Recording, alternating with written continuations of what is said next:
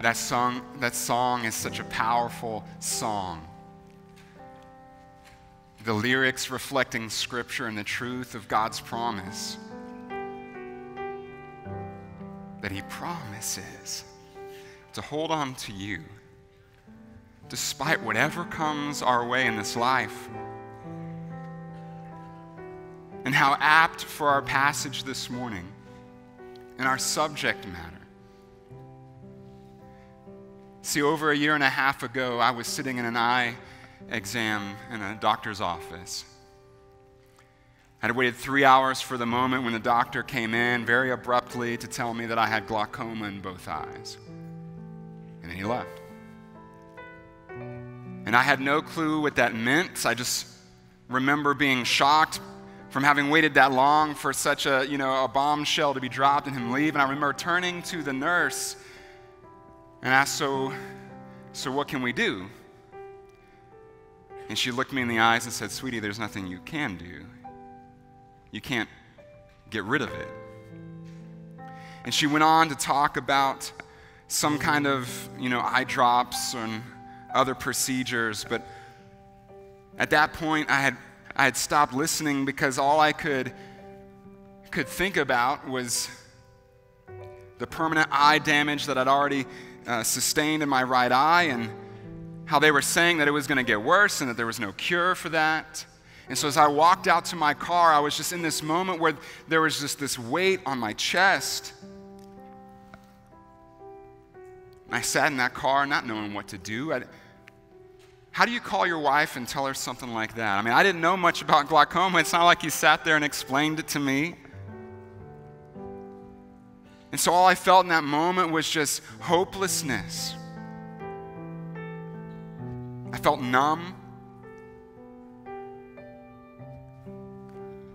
I didn't know what to do. The reality is, church, we all face dark moments in our lives. And it could be a diagnosis, it could be depression, it could be anxiety, trauma, loss. In that car, what came flooding back was this dark cloud that had wrecked my world throughout high school. And so I'm willing to bet that there are many of you here this morning who you've, you've, you've lived through many dark moments in your life, or maybe you're in the middle of it right now today.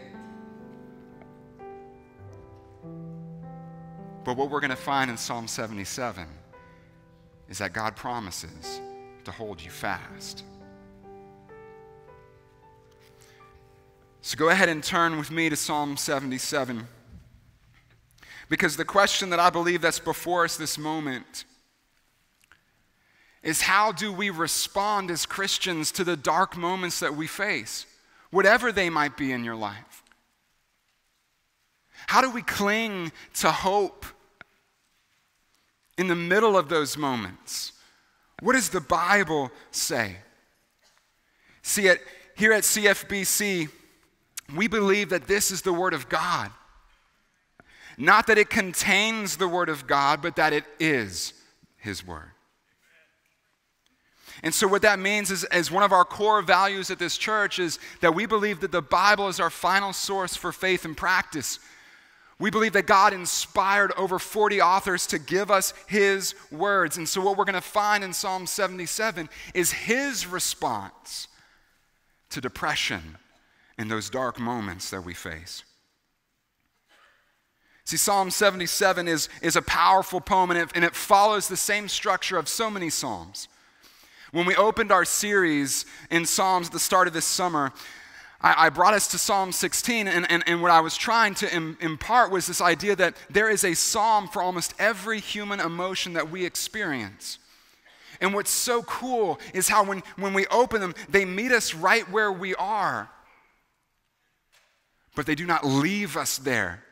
Because the Psalms are, are, are, built to push us consistently to trust in God, to shift our focus, and to praise Him despite our circumstances. And that's what we're going to see play out in Psalm 77. It was written by a, name, a man named Asaph, who First Chronicles chapter 6 tells us was one of the choir directors that King David set over the worship services for the tabernacle. And he, he wrote several of the Psalms that you'll, you'll read in your Bible, and many of them are songs of lament.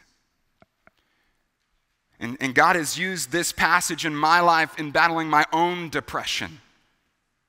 Because what you're going to find is this man, Asaph, battles serious depression in his life. And he wrote it down.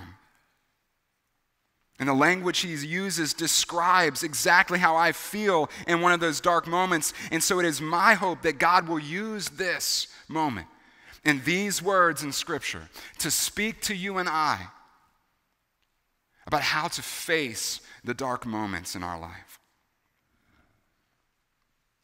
See, here's the biblical truth of responding to depression. When we face dark moments, we must shift our focus and trust in God. It's a simple statement, but it is not easy. It is the farthest thing from easy. And, and what, we, what we see in, in the opening verses is Asaph begins to cry out to God. And I want you to see this as it plays out. In verse 1, I cry aloud to God, aloud to God, and he will hear me. In the day of my trouble, I seek the Lord, and in the night, my hand is stretched out without wearying. My soul refuses to be comforted. When I remember God, I moan. And when I meditate, my spirit faints. You hold my eyelids open, and I am so troubled that I cannot speak. In these first four verses, Asaph is crying out to God, and it's not the first time. Where we find him is in the middle of his ongoing battle with depression. He's tried praying to God. He's tried meditating on God's, on God's word. What we're not told is, is what triggered his feelings in this dark moment that he finds himself in. Only that we find that he's been struggling with it for a while. And if you're a believer here in this morning, I want to make sure that, that, that this is said. If you're battling depression or anxiety or some other kind of diagnosis, you need to hear that this is not because you lack faith. The struggle and the pain that you have to endure is not because you've, you've forgotten God. See, we live in a broken world and sometimes bad things happen. The presence of sin has so corrupted God's creation that it impacts our lives in very deep and various ways. Just like in Asaph's life. We will face dark moments. But it is my prayer this morning that you and I will encounter the reality of God's word and his power in your life to face them. Look in verse 2. So he cries out to God and he says, In the day of my trouble, I seek the Lord. In the night, my hand is stretched out without wearying. My soul refuses to be comforted. Look at that last line. My soul refuses to be comforted and such an accurate depiction of how I view the very first phase of depression. And I know that medical texts have a totally different uh, phrase for it, but I call it the wallow phase. It's the initial pit that you find yourself in when you, when you enter the battle of depression, where you, you know all the positive things to say, you might even know some Bible verses. You might have some friends and family that are checking on you, but you just want to wallow in it for a while. Because all those things don't change how you feel. And then, and then comes the hopeless phase. And I believe that's where we find Asaph in in verse 1.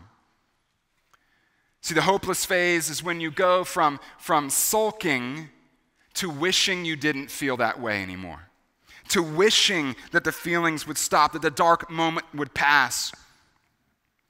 And yet it doesn't change. And this is where Asaph is in verses 3 and 4. He cries out to God. He says, When I remember God, I moan. When I meditate, my spirit faints. You hold my eyelids open. I'm so troubled I cannot speak. So he's tried praying, he's tried meditating, which is, which is us reading scripture and, and dwelling on the words and promises of God. He's tried these things, but it hasn't fixed his situation. And so here he is praying to God and expressing how he feels. He's writing out this, this prayer because words have failed him. He doesn't know how to, how to talk about it with his friends or his family, he can't speak. And so he begins to write this out. And praise God that he does, because in this moment, what we're going to be able to see is how God strengthens Asaph and how he shifts his focus and begins to trust in God regardless. You and I have a front row seat to this as he overcomes the depression in this moment. But before he gets there, He's going to bring us along. And what I think one of the first uh, tools we find in this passage is merely this in our darkest moments, one of the most powerful tools we have is to write out exactly how we feel to God. When I preached Psalm 16, one of the first points I made is that, is that we need to pray. It's one of the essential elements of worship, but honest and real prayers. And so that's what's going to happen here. He says in verse 5 I consider the days of old, the years long ago. I remember my song in the night. Let me meditate in my heart. And then my spirit made a diligent search. This is the first major shift in the passage where he goes from telling us how he feels and telling God where he is and what he's experiencing. And he starts over. Remember my song. Let me meditate in my heart. He's tried that. What's different? The words, my spirit made a diligent search, means he's moving from the hopeless phase to the fight phase. Where, regardless of how he feels, he's going to fight for his hope. He's going to press into God despite the fact that his circumstance has not changed. Do not miss that. And so he's going to make a diligent search. He's going to keep fighting. He's not going to give up in this moment. See, there comes a point in the middle of our dark moments that we face where we begin to fight for our hope. For those of you in this room who have experienced some of those dark moments, you know what I'm talking about. Where you had to choose hope regardless of the fact that it didn't change how you felt in the moment. For others in this room, you're in the middle of it right now. And all I want to say is hang on and watch how this plays out in this passage. As, as God begins to shift his focus, as Asaph begins to choose to shift his focus. Look in verses 7 and 9. You're going to see it begin right here. He makes this diligent search, and where does he go? He begins to ask this series of questions. He says, Will the Lord spurn forever and never again be favorable? Has his steadfast love ever ceased, forever ceased? Are his promises at an end for all time? Has God forgotten to be gracious? Has he in anger shut up his compassion? What's happening right here? If we're not careful, we'll read these questions as accusative. But I believe in this moment they are instructive. See, Asaph begins to preach to himself. Now, I want to pause there, though. I've mentioned in several sermons before that our God is not offended by the believer and the humble cries of a broken heart in pain when he asks, Why, God? God is not offended by your accusations. But that's not what I believe is happening here. See, he asks these series of of seemingly rhetorical questions, but the resounding answer to each one is no. Has God's steadfast love forever ceased? It's who He is. God can't be anything other than Himself. Has He forgotten to be gracious? No.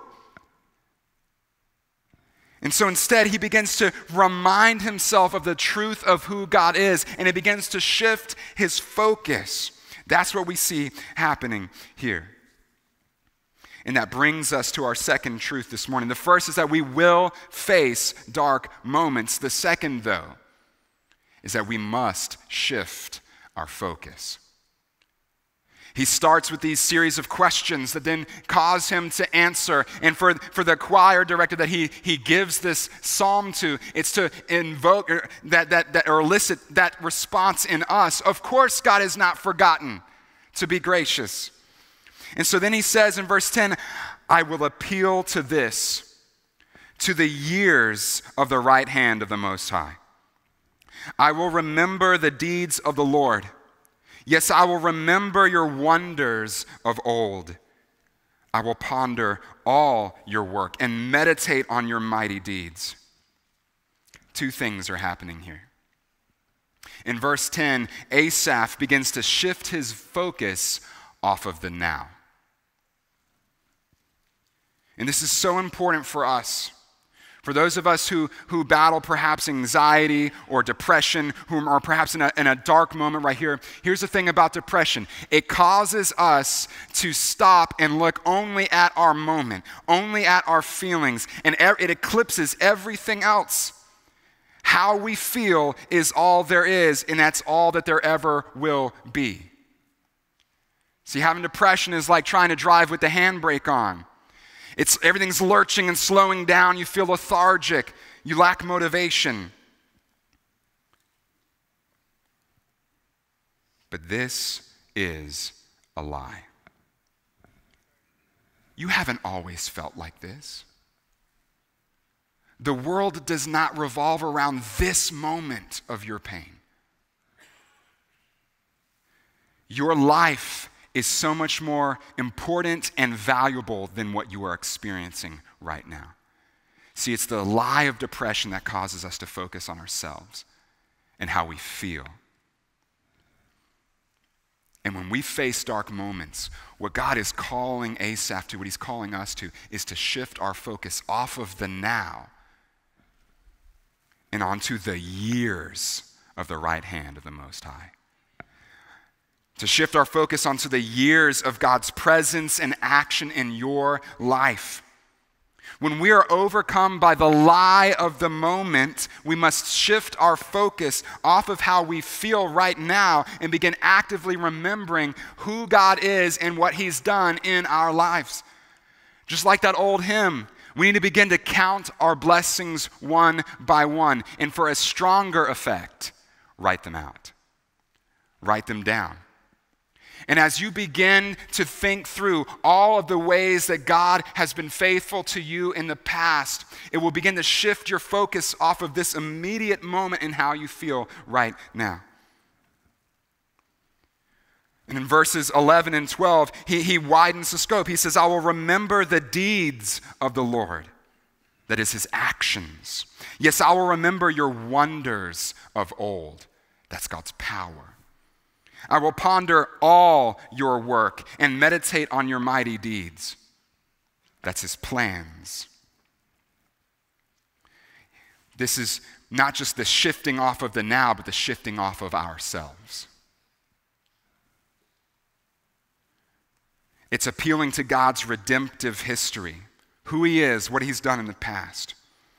These three lines are so powerful God's actions God's power and God's plan. They are the most powerful weapons as you and I face dark moments in our life. What's the weapon? God Himself. Asaph shifts his focus off of himself and onto what God has done and what that proves about who God is his actions, his power, his plans. The reason they're so powerful in our dark moments is because, hear me on this, how I feel in a moment does not change who God is. What you're facing this morning, whatever that might be, you and I, we need to shift our focus off of our situation, off of how we feel, and onto God, who He is, not who we are. Because who He is is more than enough for what you face. We need to shift our focus. Does your life feel like it's falling apart? Let God be your stability. He never changes, He's always there, always present. Do you feel overcome by pain? Let Him be your strength. Do you feel ashamed? Let Him show you grace again. Do you feel hopeless? Remember this He is not done with you yet. When we face dark moments, we must shift our focus and trust in God. I said it was simple, but it is not easy. We must trust in God. He continues, and you're going to see this, this, this third major shift in the passage right here as we get to verse 13. He started with how, how he felt in the moment, where he was, and he cries out to God, and then, and then he, he moves to the fight phase, and he begins to fight for hope by remembering who God is. He begins to, to recount and think through all of the ways that God has been faithful in his past. And now we get to this moment where what he has thought about God turns to praise to God. We saw the same thing happen in Psalm 16. See, worship is so powerful because it's where you are right now, crying out to God about who He is and therefore who you are to Him. We must trust in God. And so Asaph begins to write out this praise song, and it is an expression of his trust in God. It takes trust to praise God in the middle of the storm. When you're at your lowest point, it takes trust to praise God. And so he begins to sing and praise him for who he is. Your way, O God, is holy. Verse 13. What God is great like our God? How can he say that in the moment? He's trusting. You are the God who works wonders. You have made known your might among the peoples. With your arm, you redeemed your people, the children of Jacob and Joseph.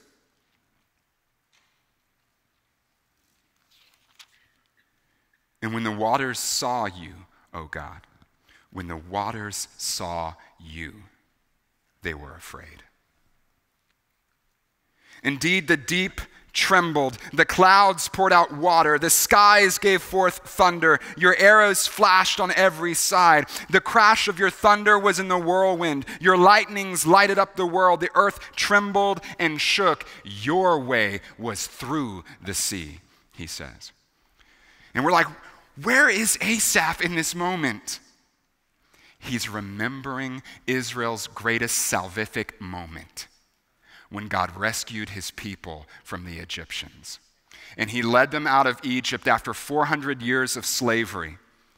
And there they stood on the banks of the impassable Red Sea, with Pharaoh and his chariots, his whole army, hot at their heels, caught, trapped between an, an impossible task of getting across and the hopelessness that overwhelming sensation as they clutched their, their families at their sides that this was the end. See, for you and I, it's a fairy tale. That's how we view it. But for, but for those Israelites, it was very real. It happened. For Asaph, it was real, but how much more so was it real for those who were standing on the banks of the Red Sea? When the waters saw you, O God, when they saw you, they were afraid and the water split into two, and the walls of the water rose high, and there was a, a dry path through the water that led to the other side. Your way was through the sea. Man, if you're a Bible under, underliner or circler, you better circle verse 19. Your way was through the sea. God showed up God made a way when there was no way. And as Asaph stares depression in the face and it seems like there is no way out, he is appealing to God's ability to save even the people from the Red Sea and the Egyptians. That's what Asaph appeals to. What God has done and therefore who He is and what He promises to do for us. But when I see those words, your way was through the sea, my mind goes to another miracle. In Mark chapter 6, right after Jesus feeds the 5,000 plus people with a few loaves of bread, he wants to get alone with God and pray, so he sends his disciples across the Sea of Galilee. And half of his disciples were experienced fishermen. And so you can't tell me they didn't see the storm clouds brewing across the, the horizon. And Jesus is the perfect Son of God. You can't tell me he didn't know what he was sending them into.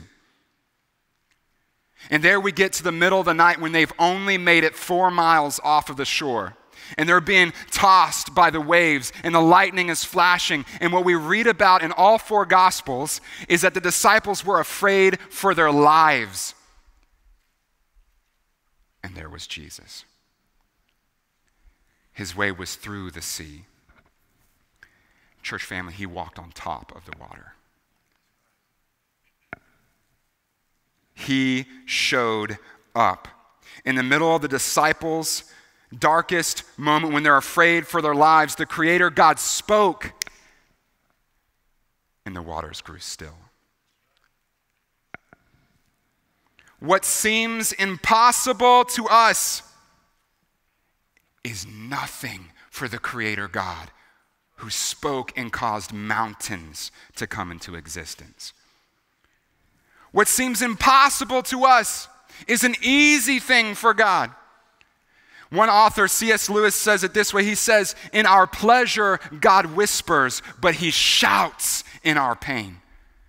God showed up in the Israelites' greatest need.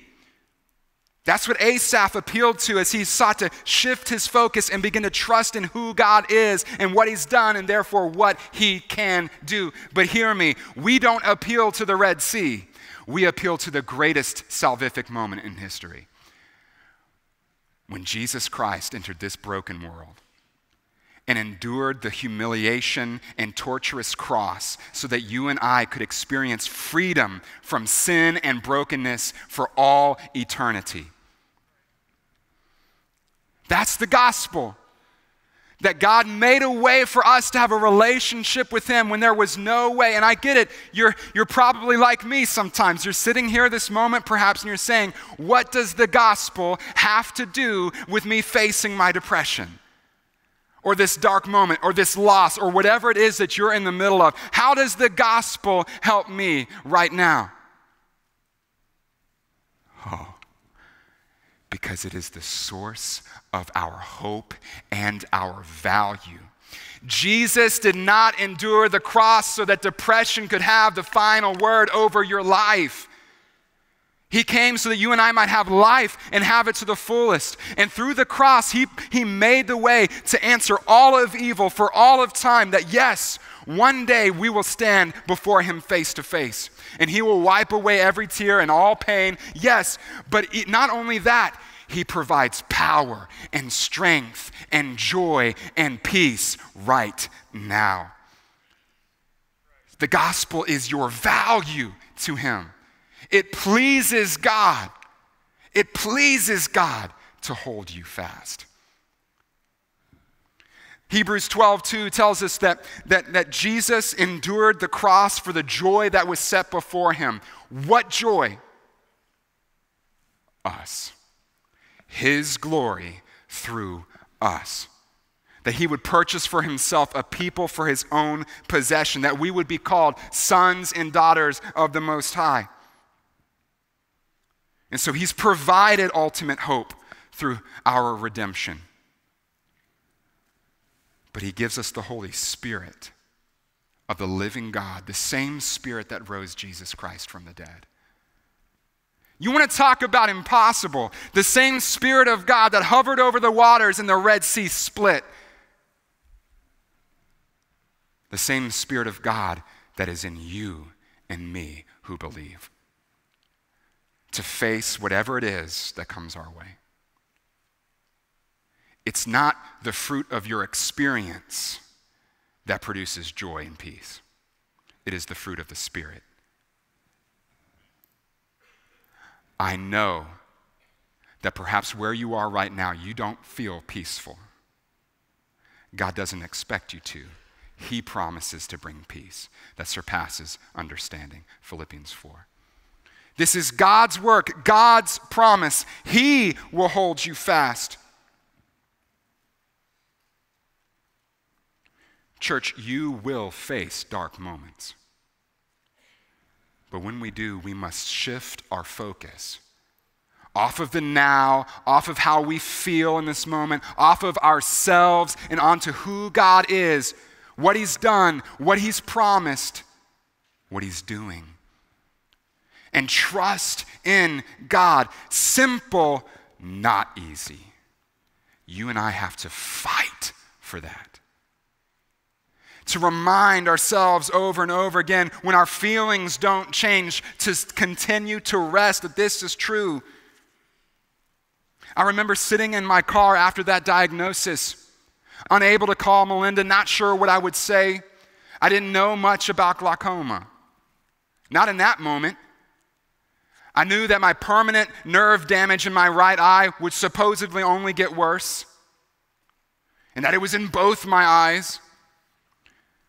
And as that weight that was so real to me in that moment, is as if my blood just, you know, drew from my face and I felt cold. And, I, and I, at first I couldn't think anything. And then all the thoughts start racing. Y'all know what I'm talking about?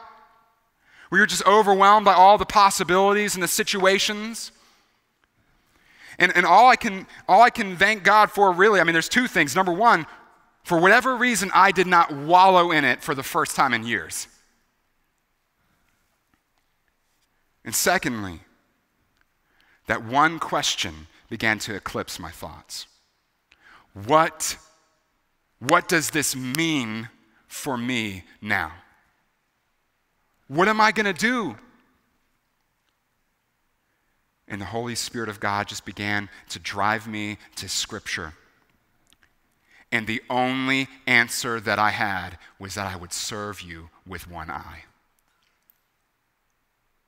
If that's what it means what I face does not change my purpose. What you and I have to go through in a moment or a lifetime does not change our purpose. 2 Corinthians 5 9 is so powerful in counseling because it shifts our focus off of ourselves and onto our purpose in God. In 2 Corinthians 5 9, it says this We make it our aim to please Him to please Him. How? How can I please Him in my depression or in my diagnosis or in my anxiety or, or this other thing that I have to go? How? By how you and I respond, by the things we say, by what we do, how we think, to please Him. It does not change our purpose. We are to glorify God by pleasing Him. Turn to Hebrews 11, verse 6. How do I please God? God's word is our final source of faith and practice. God's word doesn't leave us without an answer. In verse 6 of Hebrews chapter 11, it says, And without faith, it is impossible. How can I please God in my depression? It's impossible without faith. It sounds crazy to a lost and dying world. How can you face the loss of a loved one? Faith, hope in what is true. Without faith, it is impossible to please God, for whoever would draw near to God must believe He exists. This is the part that we get. Here's the one easy that regardless of what I go through, God is still true. It's the one easy. You ready for the hard? And that He rewards those who diligently seek Him.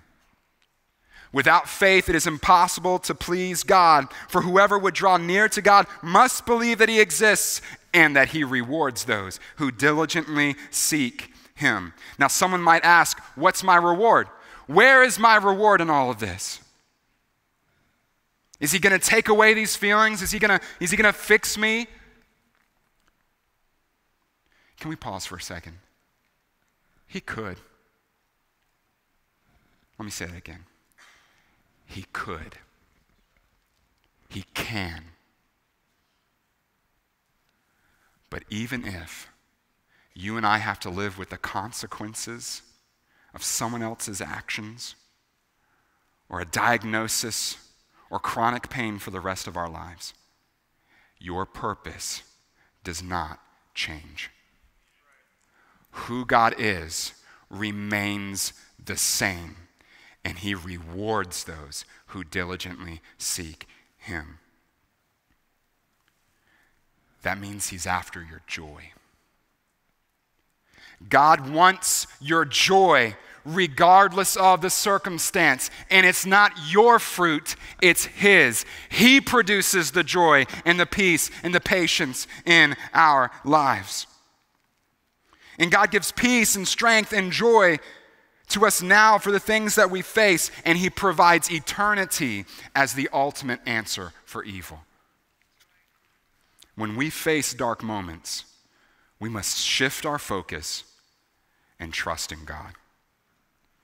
Right now, we're going to move into a time of response.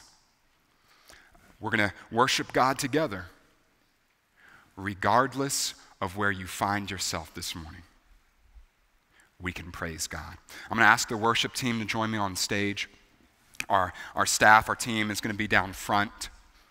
And this is a time for us to respond. I want you right now I'm going to pray in a moment, and then we're going to begin to sing, and we're going to begin to respond. Read back through. Maybe you're in verse 2 My soul refuses to be comforted. Maybe you're asking these questions God, have you forgotten to be gracious? Regardless, the answer is the same. Shift your focus off of the now and how you feel, off of yourself, and begin to, to remember God, who He is, and what He's done and what He's promised, and trust Him. Trust Him. Real trust is clinging to God's truth and promises regardless of the circumstances. It doesn't take trust to go to an amusement park, to do your job, or go to dinner. It takes real trust when the doctor gives you the diagnosis when you're fired from your job, when, you when your kid leaves, when your spouse leaves. It takes real trust to believe God's word that He is good and that He is working even now. If you would like to have a relationship with Jesus Christ, because you want the same Spirit of God inside you, if you recognize that you've tried it all the best you can and that your sin, who you are, will never be good enough, you don't have to worry anymore. Jesus Christ already was. And he offers you grace, forgiveness, and eternal life forever. Come to one of our team members down front and tell them that you want to know Jesus. If you're in a dark moment right now, though, and what you need is prayer, come. Cry out to God. Ask one of our team to pray for you. We would love to do that. Or if you'd like to join a church of imperfect people seeking to trust God no matter the circumstances, come. However, the Holy Spirit leads, would you stand as I pray and then respond to God? In the name of the true Lord Jesus Christ, would you move in power in this moment? Would you shatter our feelings? That it's not about how we feel or what we face, regardless of how impossible it might seem or how unending the pain might be.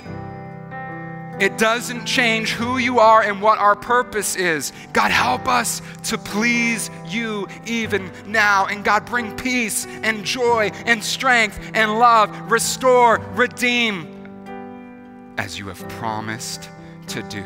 God, we trust you in Jesus' name.